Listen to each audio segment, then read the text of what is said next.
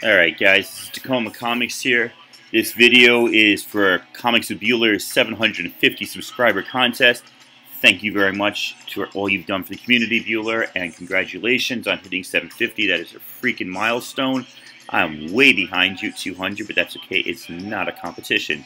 So, Bueller wants us to do two things. First, talk about the music we listened to in high school. Well, my friends, there is no better way to explain to you about the music I listened to to high school than to show you this website, WLIR.FM.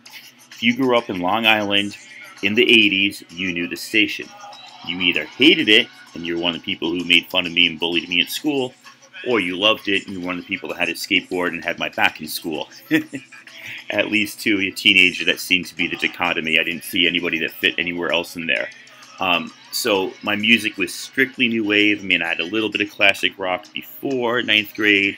By the end of my high school years, I was falling more into punk and thrash and metal. But you know, that whole 85, 86 to 89 years, that was that was pure new wave. From uh, 90% of the bands are from England, and there are things like Depeche Mode. Excuse me. Uh, I got this app on my phone and I'm playing it right now as we are doing this. Hopefully, I will not get tagged by uh, the copyright police. I'm going to hit a pause on that. Can't go over 30 seconds, I think, without violating copyright. Whatever, it's all good. So, take a look at this. The songs that have been on just this evening.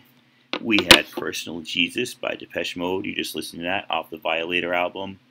Comsat Angels, I don't even know that. I love Alex Chilton by The Replacements. Breathless by X. I mean, some really good stuff here. I don't know why Tubthumping was there. That was never played. That song is way past the 80s, but that's all right. Uh, Howard Jones, Echo and the Bunnymen, Bleachers, Coral. I mean, just this. This is the music of my youth, just like they said. You can click here and listen to it live, but they make you download it. LIR was called New York's original alternative. Everything before that was like classic rock. This station came on air in like 1982. So you see they got a tour Culture Club B52s and Tom Bailey from the Thompson Twins. I saw Thompson Twins December 13th. I remember because it was Friday the 13th, 1985. I was in ninth grade at Madison Square Garden. I had nosebleed seats like you wouldn't believe with my friend Jeremy and Mark. Um, I saw most of my bands with Jeremy. I saw Depeche Mode at least twice with Jeremy. Um, so they got uh, scheduled programs. Larry the Duck was one of the DJs. Um, Andre, Rob Rush. These are all DJs on the uh, on the station. Um, and then they're trying to make some money here. Uh, down here, you see uh, Malibu. I used to go to this club. is on the south shore of Long Island. I don't know why they've got this advertisement for John Cleese, who I love. I don't know why it's there. I guess they're just taking up space. Uh, Cowboy Junkies, anybody remember them? They did a cover of Wild Horses and some other stuff. Uh, and then right here, the Culture Club's B-52s thing again. An 80s concert, Flock of Seagulls, Wang Chung, Naked Eyes. I mean, we are talking. uh, we are romantics. We are talking one-hit wonders here.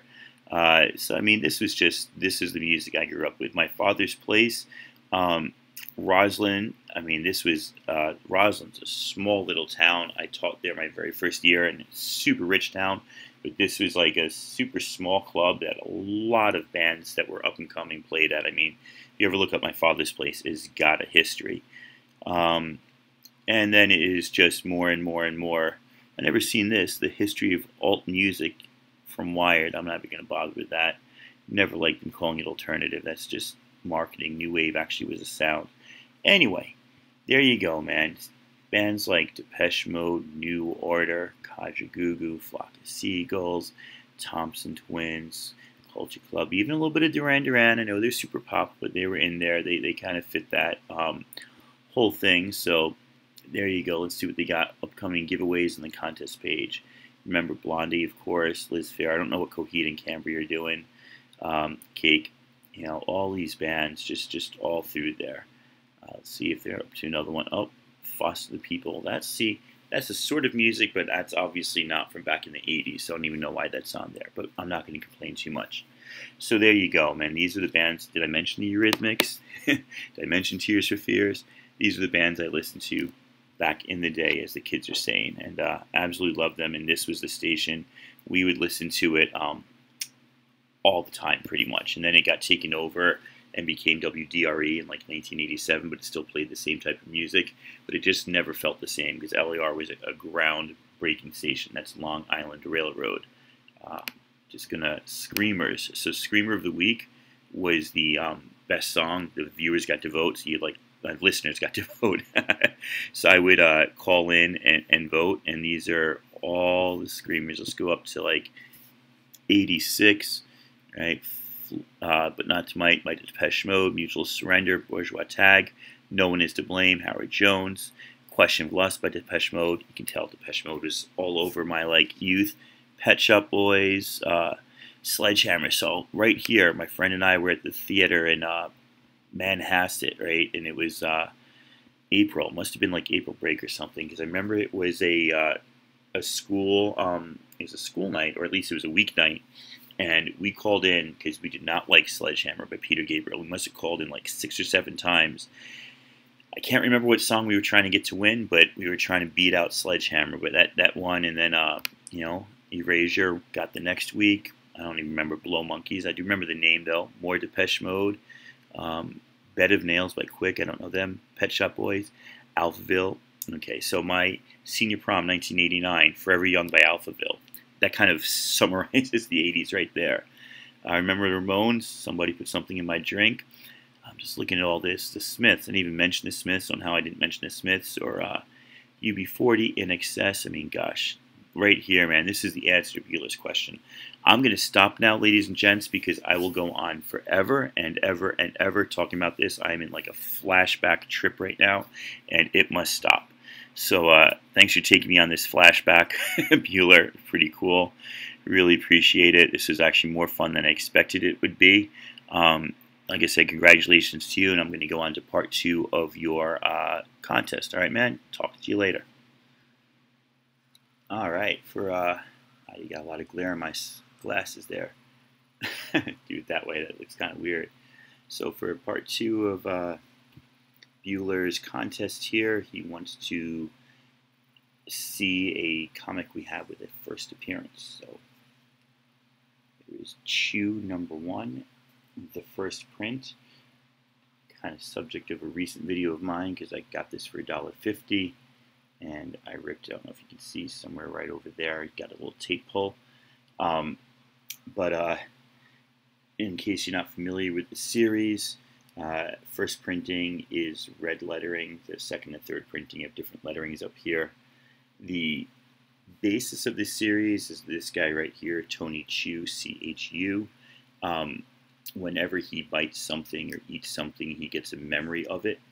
So that goes for food. He gets a memory of how it's cooked or how it's been prepared or what the animals have gone through, what the plants have gone through. And same with crime victims. So, of course, he's a detective, and sometimes he has to eat some really gnarly, disgusting things in order to solve crimes. Um, the series goes on to develop a bunch of other food related powers that members of his family and other people in the society have. And there's also mysterious ban on chicken that nobody is quite sure why it's happening.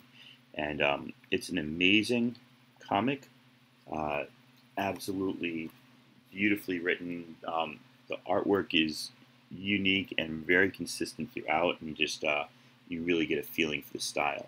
So up here is Tony Chu. On the next page, you meet his partner, John Colby, who is a bit of um, a playboy, bit of uh, an arrogant soul, but uh, is a good partner. So they definitely have that dynamic going on. Um, down here, you're introduced to Beets. Beets the only food that Tony can eat that doesn't um, give him a memory of, of something from where the foods come from.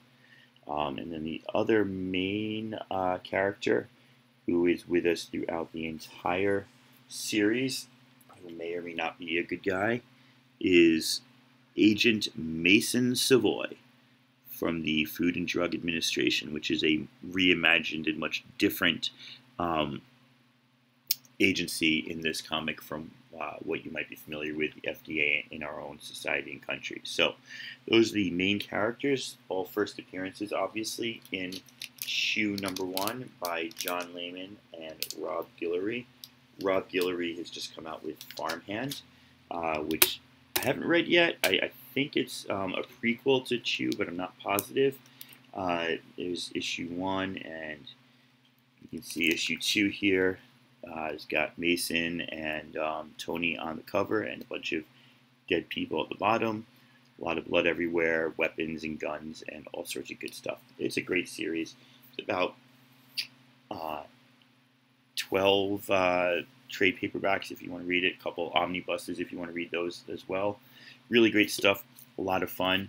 Um, if we look over here, where that's the sum total of comic books that I have in the house at the moment. Um, everything else is in storage, uh, so I didn't have much to choose from. So that's why I chose what I did. Uh, one more time, Bueller, congratulations! I've told people this before. I ran into Bueller. He'd actually recognized me at Emerald City Comic Con. The guy is as nice in person as he is. Um, on his video. So yeah, that's it. It's like 10:20 at night in the West Coast here, so I'm gonna call it quits right there. Take care, guys.